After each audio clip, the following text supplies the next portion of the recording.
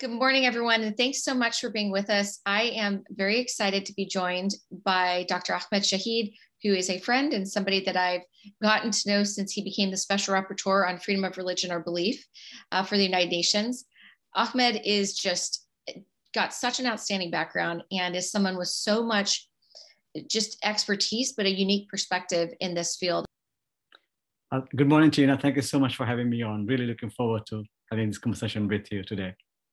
Well, so let me give a little bit of background. Um, Dr. Shaheed is actually at my alma mater. He is the deputy director of the Human Rights Center at the University of Essex, where I did my master's in human rights. So he's with a lot of people that I studied under there. And he was also uh, the Minister of Foreign Affairs um, in the Republic of the Maldives. And he's from the Maldives, uh, which he did a lot on human rights issues there. And unfortunately, uh, when he originally got his post to be the special rapporteur on freedom of religion or belief, he was actually in exile from the Maldives.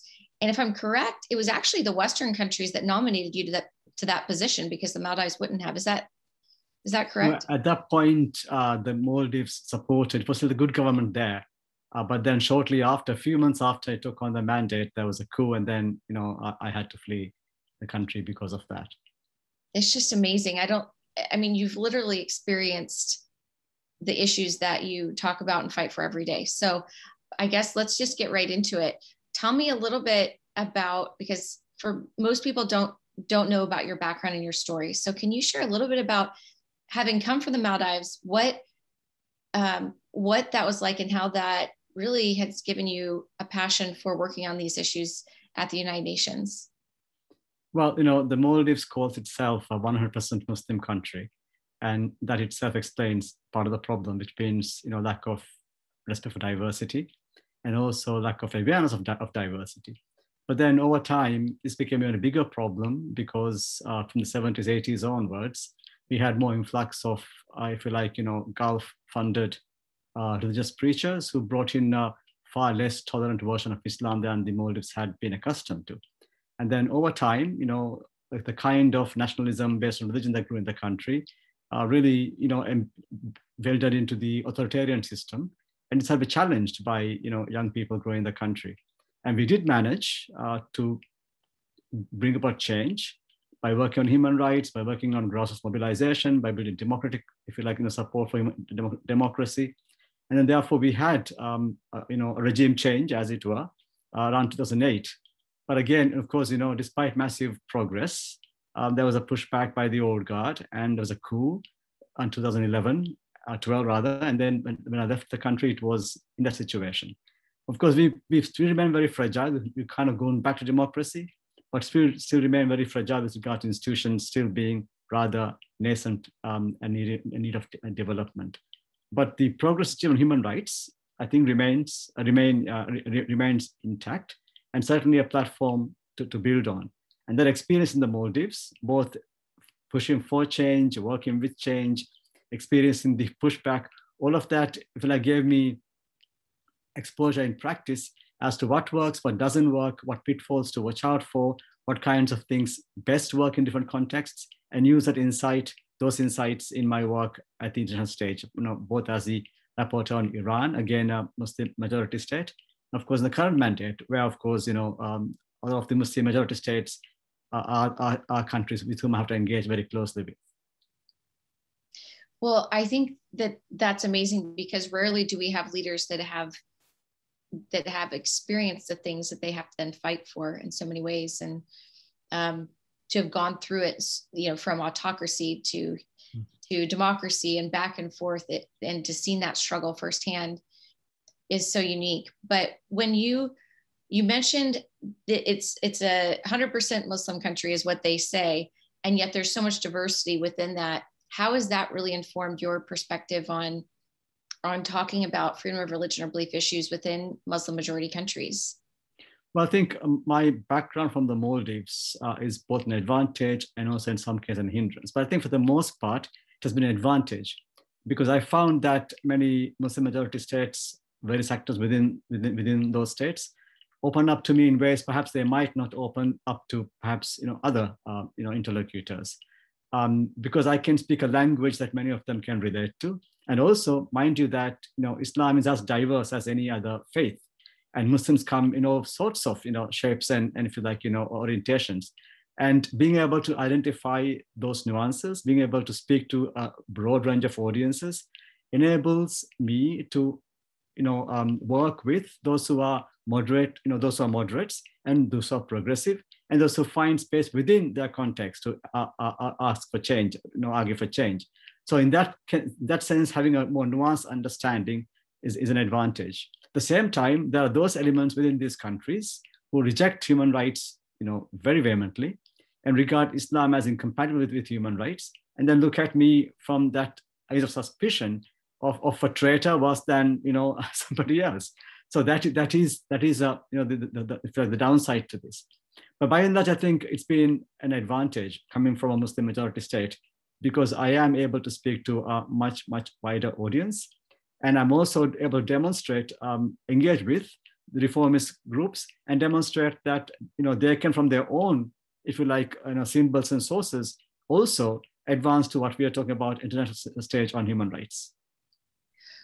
Well, I when I was at um, when I was working on like in Congress before, and we had an opportunity to put a, a commissioner forward for the U.S. Commission on Religious Freedom, I remember uh, uh, people asking if I would like to to do that job, and I said no. I said I think it's far more important that we have uh, somebody that has that's that's a Muslim that can go and speak to countries than myself because they know firsthand how to interact with people of their own faith and and talk about the value of these freedoms even within their own faith within intra faith as well as inter, interfaith. And so i just think that that's something that we don't often think about but it's so valuable.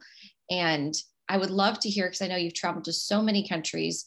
Uh, i think you were in nigeria but you've been to many others. I'd like to hear what countries have you been to in this position? And what have been some of the conversations you've had and the unique ways that you've been able to talk about about freedom of religion or belief in those contexts? Before that tina I just mentioned go back to what you said earlier. You know one of my programs at essex university is a module on uh, islam and human rights. Mm-hmm. and the purpose of this module is to really acquaint mostly muslim students from you know uh, middle east and elsewhere on how their own faith actually contains resources of engaging with human rights to sort of create the literacy about human rights. And this also applies to when I visit countries of, of Muslim background, say Tunisia was one where I was a couple of years back. Um, that's the only Muslim majority I've, I've, been to. Albania doesn't really fall out, you know, come down as a Muslim majority, but there's also, of course, a large Muslim population there. I went to Uzbekistan, again, you know, we can call it a Muslim majority state. So again, in these contexts, um, you know, those conversations are very, very, very helpful. Beyond that, I've been to um, you know, Sri Lanka, uh, just a month or two after the devastating, horrendous, you know, bomb attacks two years back. And I'm waiting now to go um, to um, Tajikistan and, and the Sudan. But beyond these specific, if you like, you know, country visits, I also make a number of other short visits to countries to engage with various communities uh, across these spaces. But interestingly, you know, um, both Tunisia and Uzbekistan, although are Muslim majority, are quite secular oriented states. And, and therefore, the conversations are perhaps easier to have. But within both these communities, there are also, if you like, you know, um, conservative Muslims who are very keen to approach all politics from their perspective. And again, where there is accessibility to these groups, I think my background helps to engage with them with some knowledge of what they're talking about. And I think from their from their part, an expectation of empathy from me as what they are saying. So there's an ability to speak, I think, deeper and um, more widely with these communities when I bring that perspective. Yeah, I, I, I think that they probably value so much that somebody understands and and that you can challenge misperceptions and and have a vibrant dialogue, which is what you know pluralism and human rights is all about. So when when you've been in this role, what kind of challenges have you faced, either from the Maldives or from from uh, you know other communities? What what kind of challenges have you experienced in this role? But then I think you know, um, well, there's some common challenges throughout uh, you know the world on this mandate, and the most common um, is the mis- are the misconceptions about what freedom of religion or belief entail, what FORB entails. Because the presumption, you know, people make is that I my mandate is to promote religion, which immediately, uh, you know, um, raise, alarm, raise alarm bells for progressives, feminists, and others who need to push back on very conservative readings of religion. That's that's one. Of course, the other are those who believe that my mandate uh, will, or at least religious freedom, is a right above other rights. And, and therefore, you can invoke this right the detriment of other human rights. Again, of course, you, come across gender equality activists who, who are a bit concerned about that. So the first thing is to really clarify the normative, con, uh, uh, you know, the framework. Equally important, of course, are those uh, countries with, blast, with anti-blasphemy laws who think that my mandate ought to protect uh, them against insult to religion. Um, so again, to clarify that the mandate is a human right, it protects human beings and their uh, freedoms, not ideas or religions per se. So these kinds of normative you know, confusions um, are, are, are, are, a huge problem. And of course, um, in uh, some parts of the world, certainly in Muslim majority states for the most part, there is a perception or a suspicion that the mandate is somehow linked to a political agenda or, or a colonial agenda or, or, or whichever distrust around the mandate, um, you know, is something that I need to work work on. So these two, these three issues, uh, distrust of the, of the mandate, which link to some historical distrust they may have of this of this work, the the literacy issues about the content uh, of, the of, of the uh, of the normative framework, and also the the prioritization of this right about other human rights. I beg your pardon, but also the prioritization of this right above other human rights is also primary concern. Wow. So when you so as you're going to different countries or just in your in your mandate, what specific challenges have you faced personally? Like have have you faced any kind of backlash or um, personal you know attacks because of your work in this in this arena? I mean, there there have been, I think, you know, um, attacks and of, of different different types. Some of it physical threats, others, of course, you know, just I suppose you can call it hate speech. But the physical threats were more linked to my work on the Iran mandate. Uh, you know, I, I, began before my current mandate working on the, as I said, the Iran mandate. At the time, I was in the Maldives, and there, of course, my work uh, on on Iran was seen uh, with suspicion, with hatred, and amidst growing, if you like, hatred in the country, towards human rights and, and secular, uh, if you like, you know, people, I, I came under attack physically uh, from, from these sources. So in the end, I left the country because when the, when the coup happened, I realized I would have an even weaker protection than before. So that was one. And also in my time on Iran, Iran actually used my, my faith background, as it were, as of, as of attacking me. Uh, given the Sunni Shia division, they thought that they could instrumentalize the Sunni Shia suspicion as a way to discredit my work um, on, on, on Iran. But even now, in my current mandate, you know, when I take on difficult issues, I get various levels of, you know, criticism is fine, but also some some anger is also fine, but also some attempts to, I think, to incite, I suppose, hatred towards me.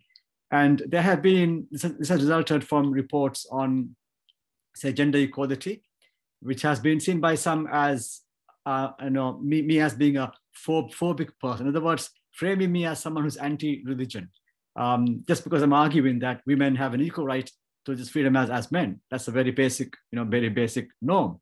But that doesn't go down very well with, with in some quarters, especially especially when people feel that you know they need to really assert their agenda over, over the rest. My last report on Islamophobia, or anti-Muslim hatred, has also evoked some unlikely responses. Um, you know, on the one hand, being labeled as perhaps um, what can be called uh, um, lefto Islamist, um, or Islamo, Islamo leftist, as they perhaps call, call, call it. In other words, a left wing Muslim eager to bring in a left wing agenda rather than human rights framework. Or those who have been unhappy because my report on Islamophobia also mentions that you know you cannot use anti-blasphemy laws to protect criticism of, of religion or to prevent that from happening or, or that Muslim majority states also can be Islamophobic. So, you know, I please none as such. I just speak, I just speak the human rights framework as I find it. So on, on, on those situations, those um, you know, actors who have serious problems with the human rights framework find difficulty with my work and they may respond to me in in very, very gentle ways or in very robust ways, including, of course, ways that can become very threatening. Yeah. Ha- have you ever faced accusations of apostasy or, or blasphemy from other others for some of your work? I have actually, you know, in my, again, again goes back to my work on Iran. And um, when I began that work and when, I am arguing for gender equality, when I'm criticizing polygamy, when I'm uh, criticizing bans on conversion, and so on and so forth, you know, these come, you know, they have been met with criticisms of being anti-Muslim, and of course also my very vehement stand against the, de- the death penalty, uh, and and of course the, the corporal punishments that they mete out there. These have been seen as anti-Muslim agendas on my part, and in again in my country for the most part, I've been accused of apostasy. You know, I'm, I'm frequently accused of apostasy in my own, own country. But in other quarters, it has been less so. Of course, you know, you do get uh, other surreptitious accusations from various quarters, but the known source of such accusations uh, have been largely the Maldives. And of course, in my time on Iran, from some Iranian uh, government linked actors as well. Have, have you been able to make any progress in, in discussing uh, the importance of freedom of, of religious speech or of speech generally uh, and expression in relation to these apostasy and blasphemy accusations or laws around the world? Like, have has have you been able to, in any way, kind of put a dent in some of the animus and just you know the a lot of the support for both apostasy and blasphemy laws? Have you been able to do anything um, using this position to help change the direction of some public opinion to to help people understand uh, the you know the, the importance of freedom of speech and expression? Well i think so i mean i would say if at all only marginally. Um, but i think what's been most, most effective is not so much the normative pushback but the practical situations there are many instances where governments have actually you know relented on specific cases so they seem more eager or more, more willing or more able to uh, release people detained for apostasy and blasphemy than change their, their laws. However, having said that, you know, I've been also arguing for a triaged approach to the subject. So of course, I'm demanding the repeal of these laws, but I'm also demanding other measures, such as improving the basic rule of law standards, improving due process rights standards, so that there's a more professional approach to, to the way they handle these, these, these laws. So that's been some up, you know, uptake on that. There's been more willingness to work in, in, in that space. Also, I think um, given the work I've been doing with USHR, the UN Office on Human Rights, uh, Human Rights, on something called Faith for Rights, which involves bringing together people of all faiths and none and ask them all from their faith perspectives and commitments, look at how the human rights framework links with their, their beliefs. Of course, in this context, been, I've been able to work with a larger group of, if you like, you know, stakeholders, including Muslim our stakeholders to demonstrate that what we're talking about is not a call for insulting religion. What we're saying is clarifying that insulting religion doesn't justify harming individuals. And of course, you, if you have these blasphemy laws, it, they invariably end up harming individuals through, through various, you know, vigilante attacks and, and so on. So there have been some, I think, improvement in that. And, the, and more recently, the OIC, when they updated, I think sometime back in February or early March, when they updated their the so-called Cairo Declaration on, Human Rights, they again, of course, brought in, uh, um, uh, you know, a, a, line to say that freedom of expression. Of course, they repeat what's in Article 19, but then they add a line saying that this doesn't include a right uh, to, you know, insult religious figures and so on and so forth. Again, I push back on this, and and they try to kind of clarify what what they meant.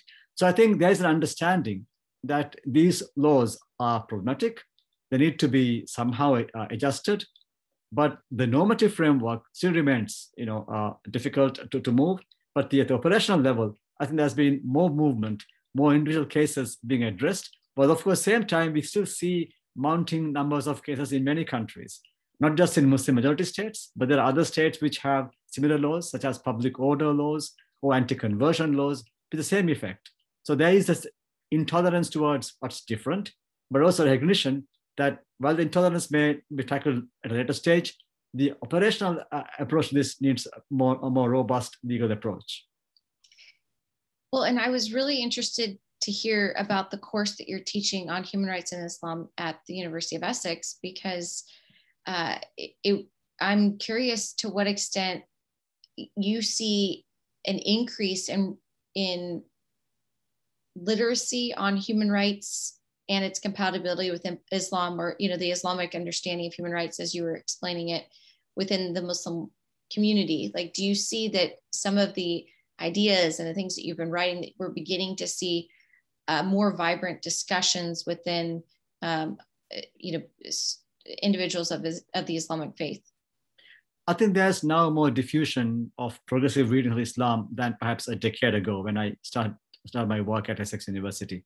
But invariably, you know, every year I have students at the end of the term tell me, "Oh, we didn't know those things," uh, because you know, oftentimes uh, in many countries, people are fed a diet of very intolerant understanding of, of religion. You know, the schools become a transmission belt of intolerance, and uh, in many ca- these cases, many of these countries, um, freedom of expression is curtailed, academic freedom is curtailed, and therefore exploration is, is a risk. And they remain they're tied to a very conservative if you like you know indoctrination they've gone through an early, early stage. So when they come out and look at these progressive readings uh, of course from muslim scholars uh, you know it's a, it's an eye-opening moment for them. And they then of course reinterrogate themselves on what they know and find of course all the time these elements were a part of their faith. It's just that they hadn't thought along those lines. So i think yes that's that's, that's useful. And like I said, you know, uh, my work on Faith for Rights again looks at demonstrating that regardless of your faith, you know, Buddhism, Hinduism, Islam, whichever, in all these faiths, there is a common concern about, about the individual, about one's welfare, a humanistic core, as it were. And this is the priority concern for, for all these faiths to make sure that people can live a good life without harming other people. So through these, without the political angle that comes into this, you know, from, from organized religion, I think there, there are avenues uh, opening up. At the same time, you know, um, groups like the Oslo Coalition and others have been working, you know, on this in this space, and they've been doing good work. And I'm supporting some of these activities in places like say Indonesia to again promote literacy on Islam and human rights to demonstrate that even the blasphemy laws have a political provenance in the Muslim context, and therefore they can be pushed back even while remaining faithful to the Islamic, you know, doctrines as, as it were. Well, I, I think it's fascinating. And I think it would be interesting in many of these countries if they actually went back and looked at where a lot of the laws and things came from, it, they'd be fascinated by the legal history there.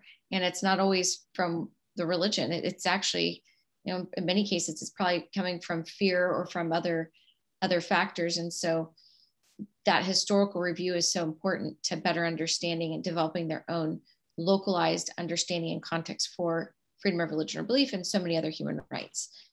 But I, um, I appreciate what you shared earlier about putting FORB into a broader context, because uh, in many of these countries, when you're talking about, like you were sharing, um, not just apostasy and blasphemy, but dealing with expression laws and uh, other codes and, and issues, all of these laws and issues are intertwined. And so you can't deal with one in isolation, really.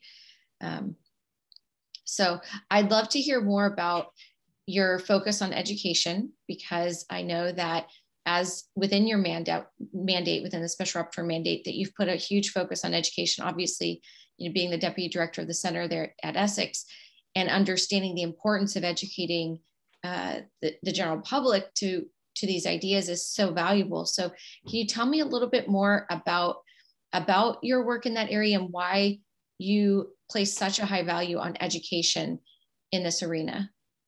Thank you. Well, in my reports, uh, going back now, I think now 10 years almost, I always stress the importance of you know two types of education here. One is about diversity education, knowing the other, so that people grow up knowing that they live in a diverse world, there are diverse perspectives, that you know, the tunnel visioning of the individuals is a very dangerous thing. So try to open it up a little bit so to enable them to embrace the diversity of the, of the world or, or life around them. That, that's one. And of course, this at the same time, there's the issue of, of literacy about their own culture, history, and religion. Because if they do not own their own culture, if they don't, if they can't interact with it freely, they really don't have agency within, within that. So what education does is, you know, it can open up minds. Um, it can you know, prepare young people to live in a society that's diverse. And we can see in many places where this doesn't happen is a problem. In Sri Lanka, you know, um, you know, a, a, neighbor to the Maldives, uh, when I went on a country mission two, two years back, you know, they were just looking at reviewing their own school system because they've learned that the pillarized system whereby Buddhist children go to Buddhist schools, uh, Hindu children go to Tamil schools, and Muslims go to madrasas and so on and so forth. And they don't actually meet, by and large, other children, other young people until they finish schooling and they're 18 years old. By the time they've hardened their, if you like, minds about what the other is. So they have very unrealistic, essentialized views of the other, which they may have picked up from stereotypes or from you know the media. Of course, the the, the media creates distortions of everybody. So unless you had access to other forms of knowledge about the community, you won't have a nuanced understanding. And nothing better than actually having peer, peer, peer-to-peer contact, meeting a person of the of the other, as it were, you know, dissolve stereotypes immediately or can do very quickly. And I found that when a community is absent, people harbor more fearsome views about the other than when they are mingling with them. Example would be, of course, the Swiss referendum on the minaret some, some many years back now. And a survey post referendum found that in those places where the communities had interactions with Muslims, they were less fearful of a minaret as a threat to them than in those places where, where they didn't have a Muslim community. In my work on anti-Semitism, I'm finding that the actually the, the deep-seated antipathy, the anti-Semitism, is more deep-seated in those countries where people have less chance of meeting Jewish people than when they have a chance to meet with them.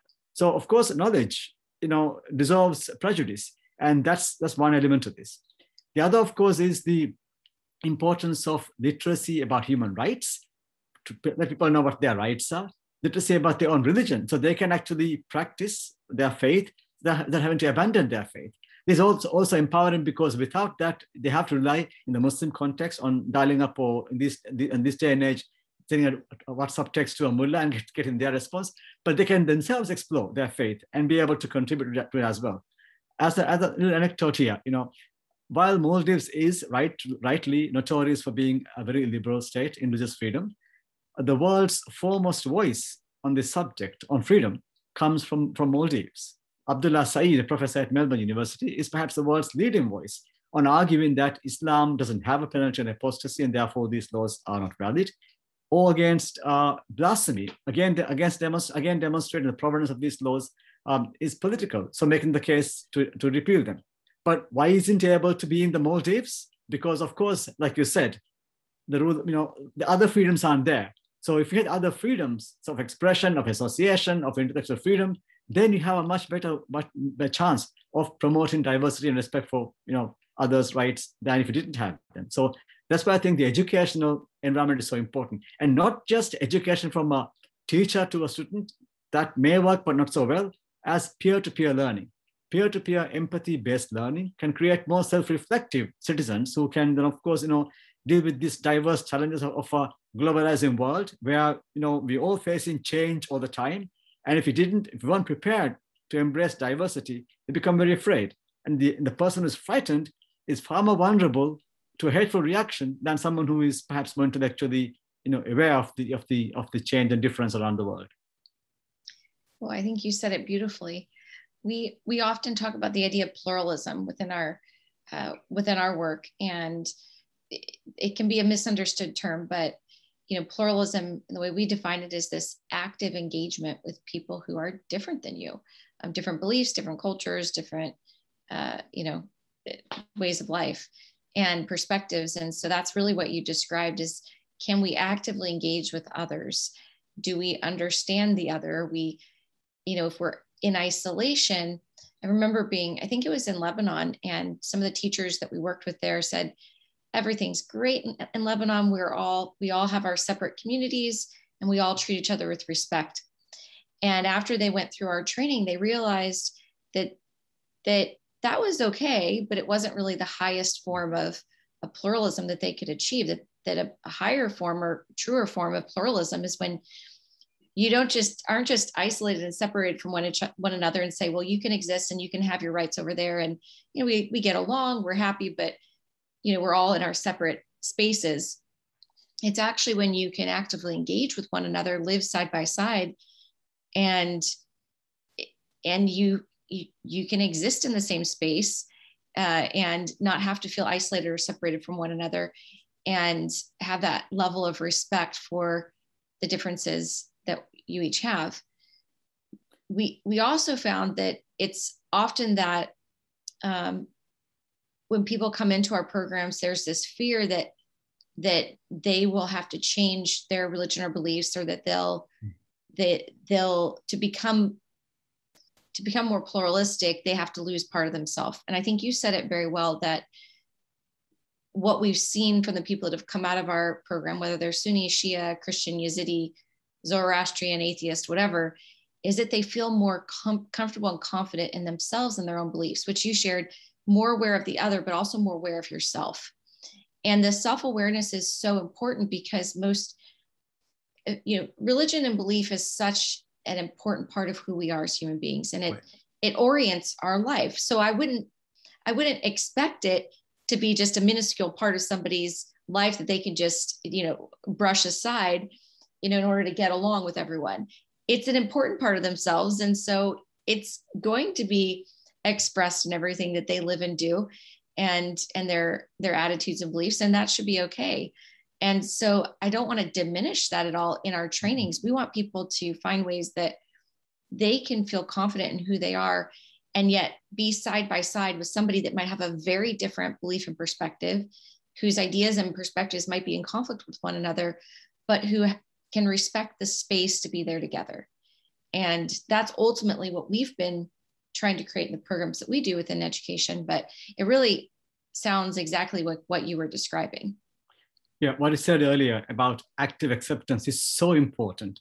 That is the operative phrase here, active acceptance of, of the other. Uh, and of course, you know, I come across many toleration mindsets, like you said in Lebanon. Yeah, we live here, they live there, we're happy, they're happy, you know, we don't mind them, they don't mind us.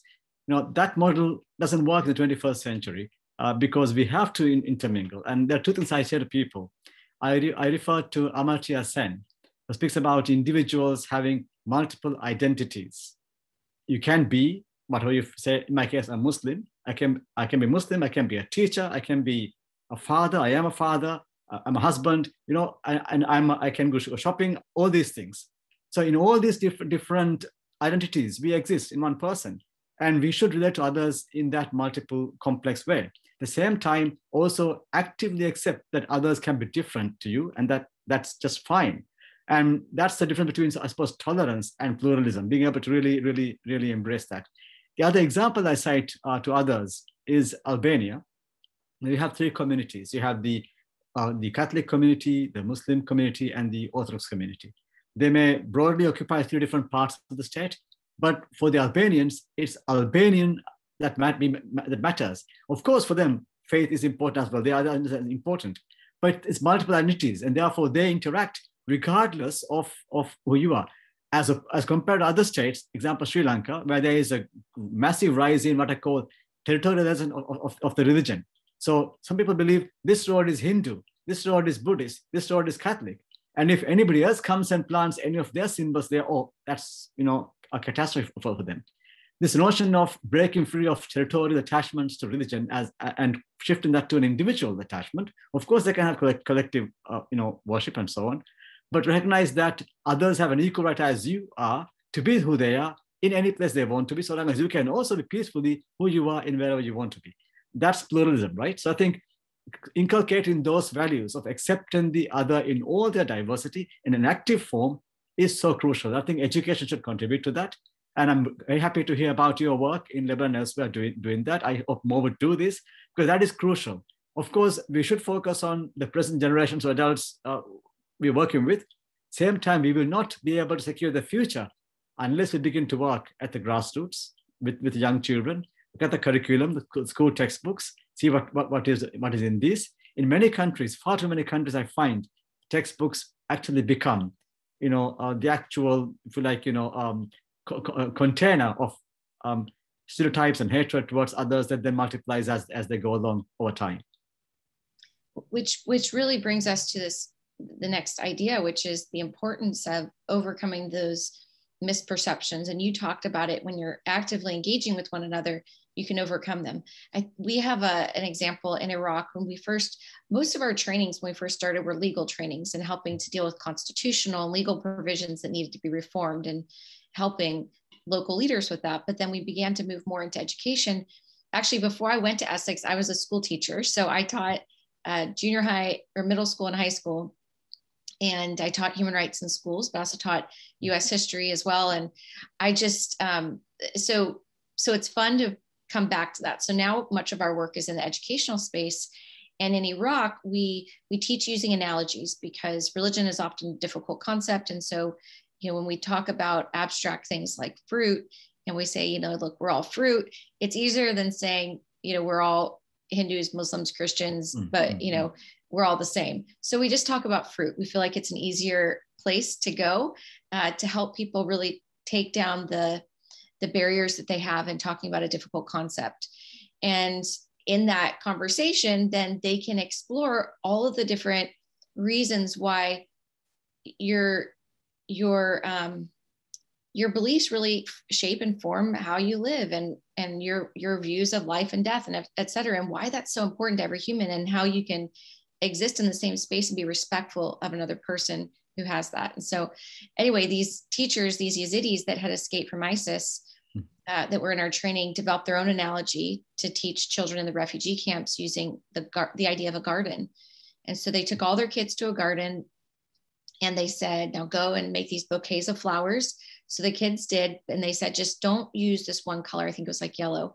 So the kids went and they made beautiful bouquets of flowers. And they came back and the teacher said, oh, they're so beautiful, but look back at the garden. And so when the students looked back, they realized that they had totally destroyed the garden because they just ransacked it. They pulled everything that they wanted, but left, you know, these scraggly, like little yellow flowers all over. And the teacher said, This is what happened when ISIS came in. They did, they destroyed mm-hmm. everyone except for the people that looked and believed like them. And those refugees were Muslim, they were Christian, they were Yazidi, they were Kakai, they were Shabak, they were Zoroastrian, they were Baha'i. And they looked at each other and they were all really sad because they realized what had happened. And they realized um, that they were they happened to all of them, not just one of them.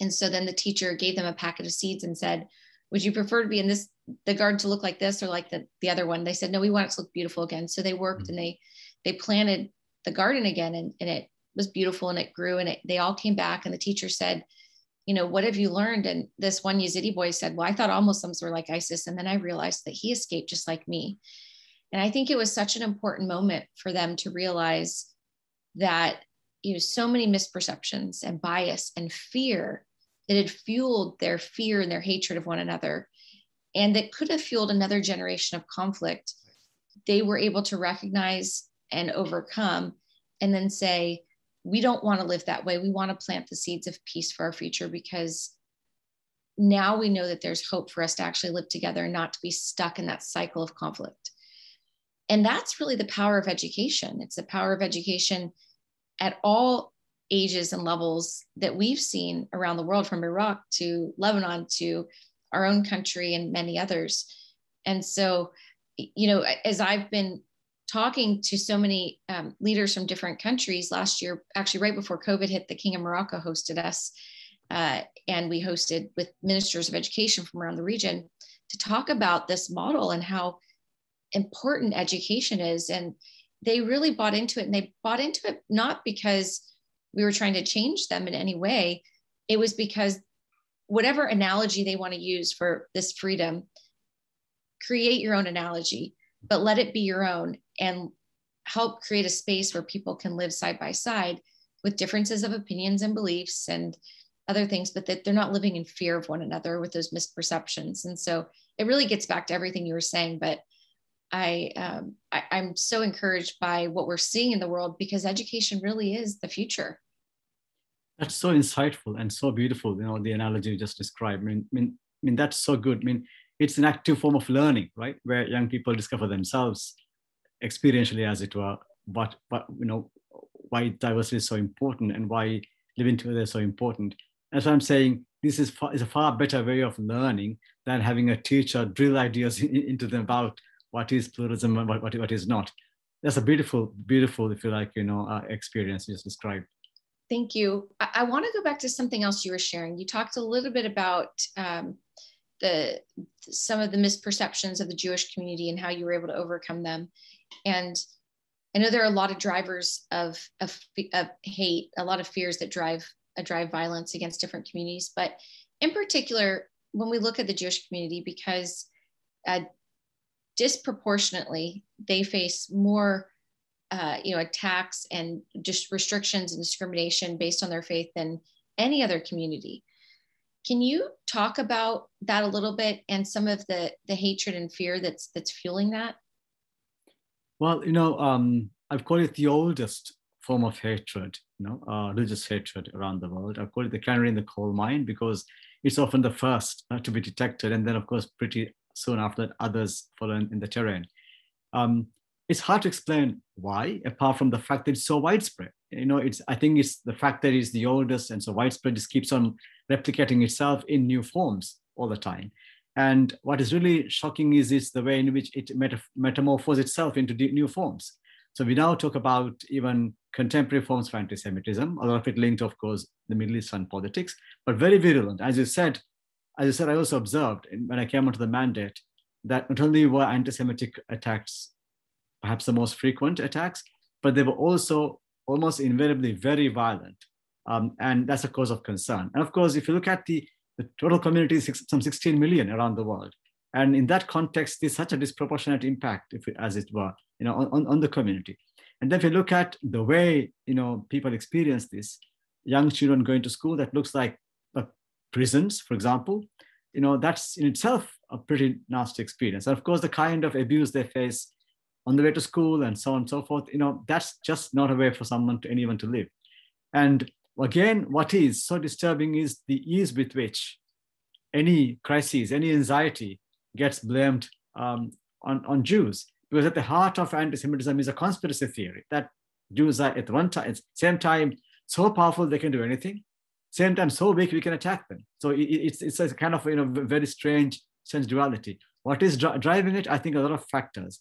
One, of course, I would say at the present time, I think, um, you know, powerful politicians, they can have a, again, uh, very high impact, high velocity impact on their communities because they have the pulpit, they have the, if you like, the outreach, and they can incite, you know, violence, hatred towards others. And we've been seeing a lot of that uh, from many countries, you know, powerful leaders in times of difficulty falling back on as an excuse, excuse you know, scapegoating uh, Jewish communities. And that has a very long lasting impact the same time, they have the education-based, you know, the deep anti-Semitism. In the Muslim world, for example, you have radical Muslim, you know, clerics and others using the pulpit, using school system to preach hatred towards Jews, even in, invoking, you know, uh, scriptural sources, uh, in my view, distorting them to create that kind of impression on young, young people. And then, of course, you have the, the, the political context in terms of the growing surge in right-wing politics in, in many uh, uh, countries.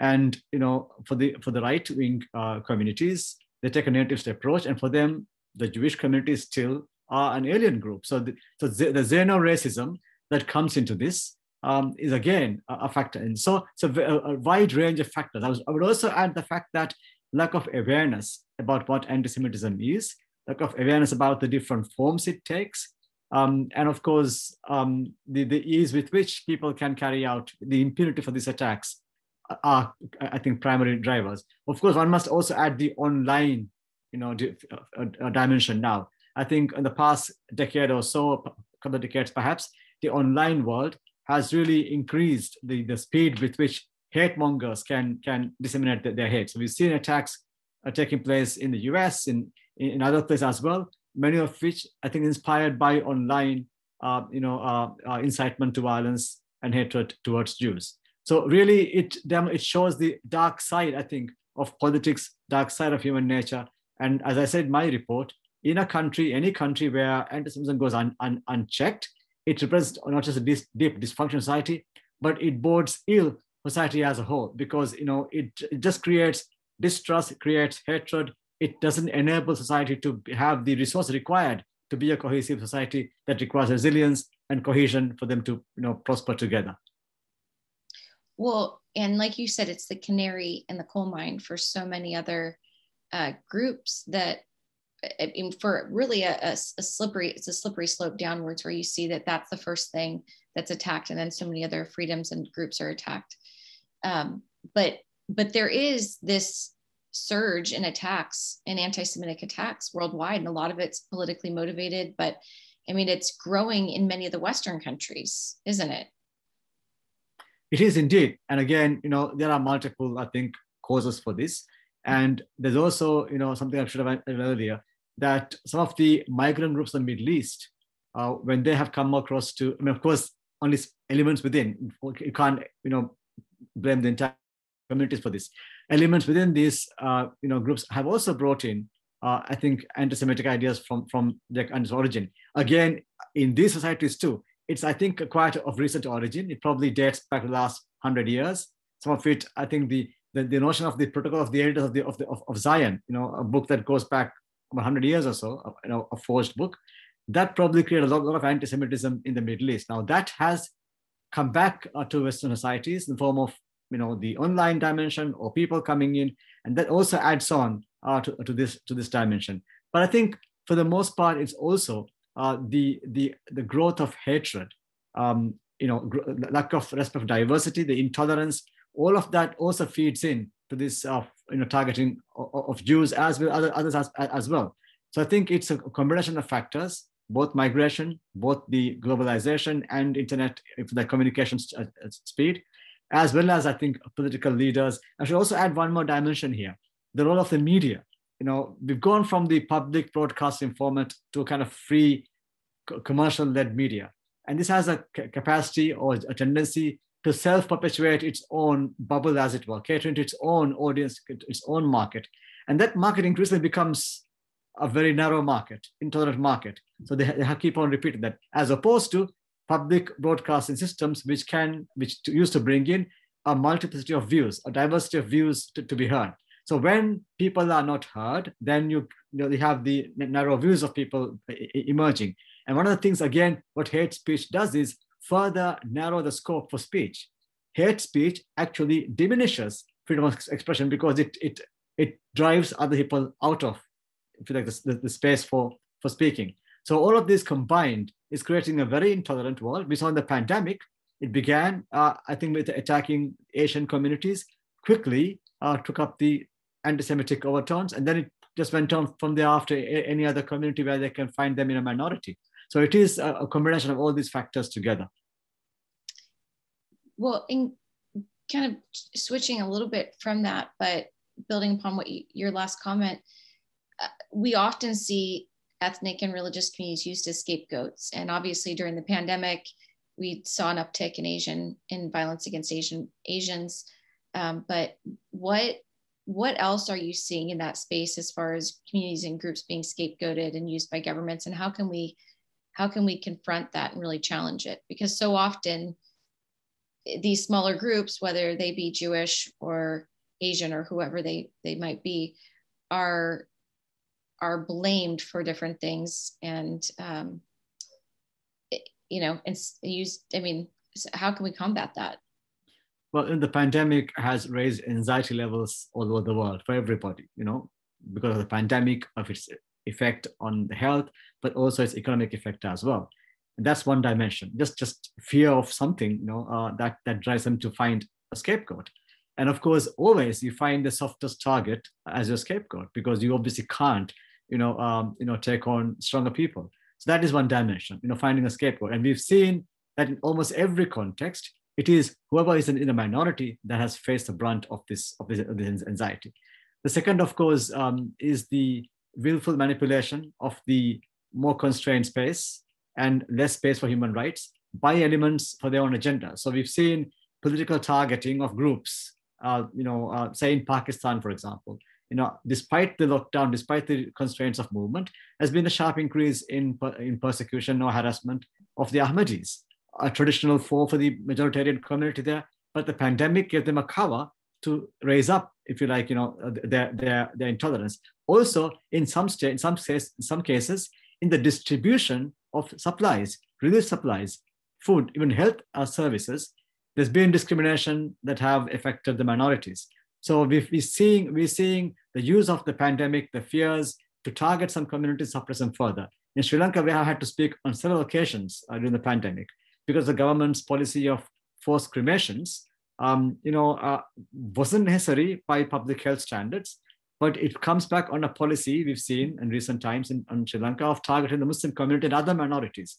So governments have used the, the, the pandemic and the increased powers they have got to, to distort public policy in ways that privilege the majority, undermine rights of minority. Same time, the, the you know, civil society actors themselves, non-state actors themselves, have used the same space of restrict, restricted movement, restricted space, public scrutiny to target uh, communities that they don't like. So overall, there's been a pretty bad time for those in a minority, including, of course, women um, and uh, gender anti-minorities who find lockdown to be very, very, if you like, suffocating, as well as dissenters in religion, the, you know, the, the, the uh, progressive Muslims, um, you know, converts and so on and so forth. Now they're locked in communities or in homes where the home itself may not be safe for them. So all of this, you know, creates a lot of vulnerability for those who are in a weaker position compared to those who have access to better resources and perhaps, you know, benefit from established privileges in society we've definitely seen in the last year with the pandemic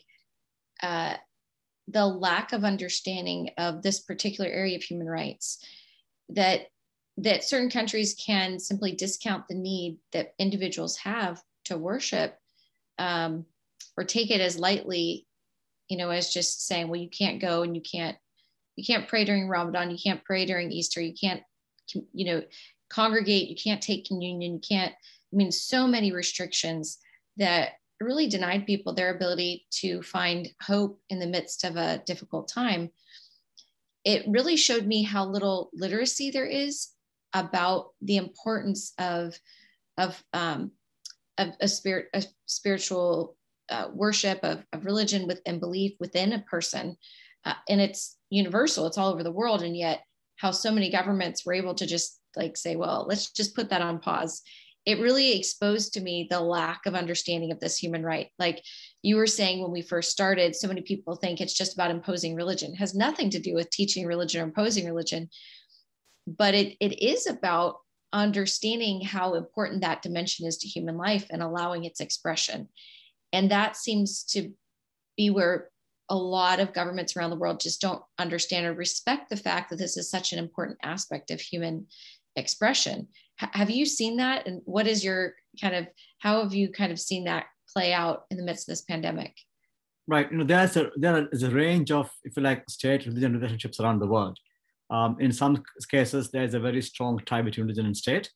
And in those cases it often is one religion that is embraced by state and others suffer on account of that.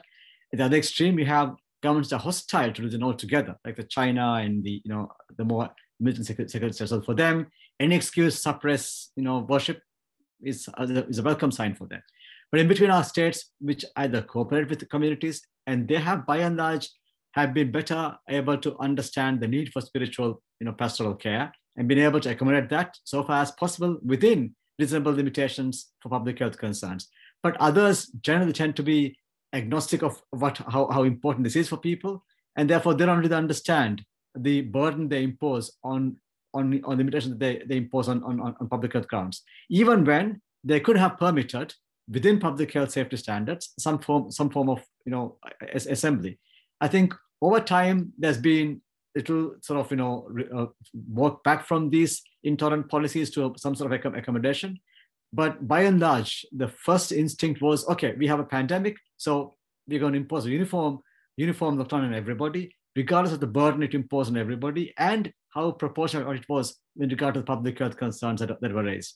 But subsequently, of course, I think there were some accommodations, adjustments, which enabled many communities to have some form of pastoral care or some form of worship within, within if you like, social distancing rules as one necessary. Well, and that's why your role and just the role of the special rapporteur on freedom of religion or belief is so important because in times of crisis, that's when we have our rights that they should be protected it's not when they should be taken away i mean we we have them so that and we often take them for granted in times of ease but it's in times of crisis where we have to remember no we have rights we have to protect them i mean that was the whole point of the universal human rights movement uh, was that they're not they're not to be just thrown away uh, in the time of crisis. And like you said, there's a burden that is on the government. Is this necessary? If you if you restrict these freedoms, is it proportionate? And all of these words that you're saying are so important for people to understand. And to have somebody in the world that's reminding governments, hey, governments, you can't just you can't just restrict the entire freedom. You can't just say, well, let's just put this on hold. We're in crisis. Um, it's so important because you're really ensuring the protection of people from the power of their government. And that's, it's, you know, it's whether you call it a watchdog or whatever you want to mm-hmm. call it, it's an invaluable position because you're really standing out for all of those little people everywhere in the world that don't have a voice, whose governments might not care, who might be minorities, and regardless of what faith they are, because in every country there's a minority that's different from the next, uh, they need that voice to, to stand up for them. So, Ahmed, thank you for everything that you're doing and for being that for so long now. I mean, it's uh, you have another year and a half, I guess, left of your mandate, and I I think we, you know, for such a time as this, we've needed you here. So, thank you for your leadership. Well, thank you, Tina. Actually, you know, uh, I mean, I find in this space a growing number of voices like, like yourself, for example, working, you know, at the grassroots, working on the ground with, with real people, making sure people understand better how, how diverse the world is, making people understand what FORB is, is what this right is, and create the nuance understanding enables all of us at times of stress to find something with which we can work on. So I think it's, a, I mean, I find in the time I spent as mandate, a growing number of countries, a number of actors have come into space. And all of course recognizing how important this is as a space to work on. And of course you know being able to i think pull together work together. I would point out the great work done by various faith leaders in the pandemic of the past year uh, you know including through the um, uh, world religions association uh, regularly meeting with the UN, UN system other act, actors to look at what can be done and it's fascinating to see the amount of work they do both in terms of charitable care and humanitarian intervention in cases, but also spiritual, if you like, uh, care uh, when the need arises, as well as working together in multi-faith groups to demonstrate that you know we are all in the same boat here. The ship goes down, we all go down, and that's I think a very important message that we all need to be conveying. Well, I think you're right on that. It's a rising tide lifts all boats and one ship sinks we all sink so i don't for people to understand we've got to come together and that's really it's not about coming together to sing kumbaya. It's about coming together to respect the differences that we have and the deep beliefs that we have that might be different, but that, you know, it's what makes us human. And so uh, it's really fundamental. But I'm so excited that we had this time together. Thank you. And I look forward to hearing many more future reports and uh, I, things that you have to share about the successes that, you know, that, we, that we're seeing. No, thank you so much, Tina, for inviting me to come and have a chat with. It's been very, it's been a very, feel like you know, learning experience for me as well to hear about your own work and to hear about the great, the great, if you like, experience you having with, with you know, various, um, if you like, students and others in various parts of the world, from Iraq to to Lebanon and elsewhere. The key thing is to be, be able to speak to practitioners like yourself and learn from them. Thank you so much.